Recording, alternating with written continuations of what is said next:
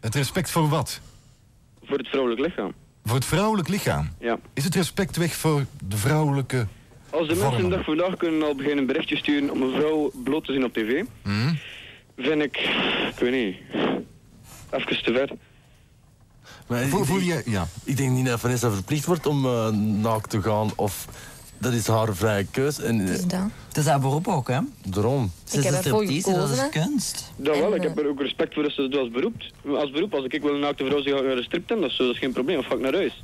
Maar, eh, ik bedoel, Big Brother was een ander verhaal waar regelmatig blote Betty, die nu in de Playboy heeft gestaan, werd opgevoed als de seksbom in Vlaanderen. En u keek massaal met miljoenen naar Big Brother. ja. Wat is de discussie? Ik haal hier zelfs geen miljoen kijkers mee, mijn beste Ben. Ik wist, we steken onze nek uit. Dit is gevaarlijk. Ik heb nog lang met de directie ook moeten praten eh, van het radiostation. Maar eigenlijk gaan wij niet zo ver als Big Brother, waar je alles zag. Ja, maar, maar, maar, maar bij Betty was er ook geen respect meer. En Betty is ook niet voor te zeggen eh, vers vlees, hè. Is wat? Is geen vers vlees? Of Vers vlees, ja. Dus u vindt, vindt lelijke Betty, die, die mag het doen. Mooie Vanessa niet. Voor part mag ze het allemaal doen, maar niet zo op, ja, Niet op de radio. niet op de radio, nee. Maar ik vind, eh, je kunt meer respect hebben, hebben voor iemand die zich naakt toont en die content is met, met zijn lichaam. Als iemand, ja, ik vind dat, daar moet je heel veel respect voor hebben. Hè? Want dat doet niet iedereen. En eh, je, moet het, je moet het durven. Hè? En ik vind, daar moet je gewoon respect voor hebben. Hè? Ik vind, zolang het niet vulgair is, kan het. Ja, dat vind ik ook. Ja, dat wel, maar ja. Is dit vulgair? Is dit, is dit vulgair? Jij bent 19 jaar. Is Ja. dit vulgair? Dit is vulgair. Een blote borst is vulgair. Nee, maar de manier waarop is vulgair. Is, is, eh, vindt u het beangstigend? Want uiteindelijk hou ik gewoon Vlaanderen een spiegel voor. Hè? Uiteindelijk heb ik niet beslist van dit, gaan, dit gaat gebeuren. We houden een spiegel voor Vlaanderen. U vindt dus de mening van Vlaanderen in dit verhaal beangstigend. Ja. De meerderheid denkt zo. Ja, de meerderheid denkt zo, jammer genoeg, ja. Gaat u verhuizen dan? Nee, zeker niet. Zover wilt u het ook niet drijven. Nee, ik ga niet naar bos. Je kunt misschien in de bos gaan zitten met een madame tegen Nee, nee, nee. nee. Oké, Ben, in ieder geval bedankt voor je openhartige mening. Want dit is het programma van de vrijheid van meningsuiting.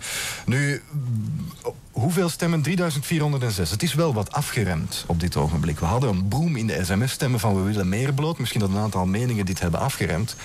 Jij geeft, jij geeft eigenlijk professionele stripnummers, dus ik weet niet eh, hoe we dit moeten gaan opvangen. We Het kan ook zijn dat de kaart op was, hè? Van de van sms, ja. Dus eh, van die pay-and-go en zo. En ze konden niet meer bellen. Ja, ja, ja. Ehm, ben in Brugge is er vandoor. Ik denk niet dat we nog een, een mening daaraan kunnen toevoegen. Heteen wat ik eh, probeer voor te stellen, we gaan eens even overleggen terwijl we dit programma beëindigen. Of we een, een, een stripact eh, kunnen meegeven aan de kijkers en luisteraars. Dat doen we dan zo dadelijk even. Want we moeten er toch zo dadelijk uit. Mensen kunnen nog reageren natuurlijk op ons forum www.topradio.be.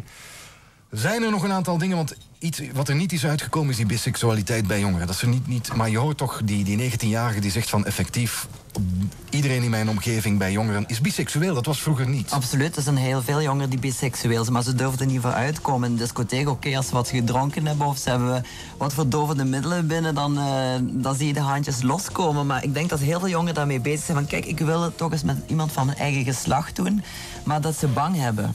Ze zijn bang om de reacties van de mensen rondom.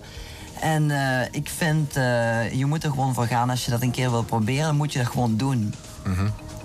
Doen mensen, doen. Als je zin hebt, gewoon laten gaan. En zie vanzelf wat er gebeurt. Vind je het leuk, kan je misschien nog een keer doen. Vind je het niet leuk, ja dan... Oké, dan... eh, Je moet alles voilà. geprobeerd hebben, dus... Dus eh, dat. Ja. en tussen vijf en zes in de zillion... eh, Voilà. Eh, ik ben dus elke vrijdag en zaterdag in de Zillion tussen 5 en 6 daar uh, pikuur. En voilà. Eh, jongens, allemaal welkom. het zal druk worden zaterdag. Even, even voor, om- voor ik afrond, Vanessa, jouw stripnummer. Is dat een heel gewaagd stripnummer? Want we kennen het stripnummer niet, absoluut niet. Ga je heel ver? Het is helemaal niet gevaagd. Dus mooi om te zien. Niet vulgair.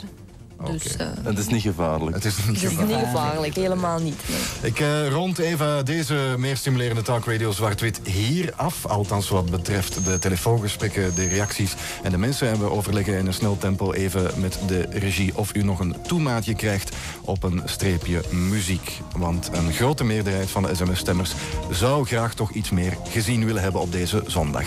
Wat mij betreft, ik ben er volgende zondag terug vanaf 11 uur. Bedankt voor het kijken en luisteren.